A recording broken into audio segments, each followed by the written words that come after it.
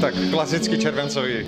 Chvilku na ledě, eh, venku velké teploty, takže led prostě nebyl ideální, ale prostě takové první zápasy jsou, takže eh, je to nutnost, bude to zápas od zápasu si myslím lepší, jsme prostě do toho šli prostě jak trénink, ať se prostě plníme něco, co si říkáme teď už od začátku a, a tak to asi vypadalo.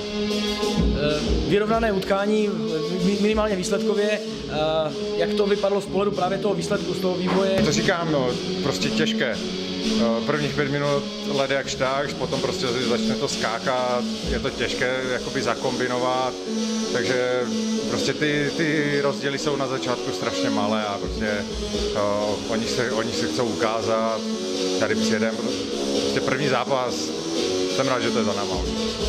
Dva góly potěší? Tak uh, potěší vždycky výhra, potěší i góly, že dobrý. Ale je to, je to první zápas, neznamená to vůbec nic. A všech tady těch zápasů mám za, sebe, za sebou desítky a vím, že to prostě nehraje žádnou roli tady toto a, a liga začíná v září a tady ty přípravné zápasy jsou od toho, aby jsme se na to září přichystali co nejlépe.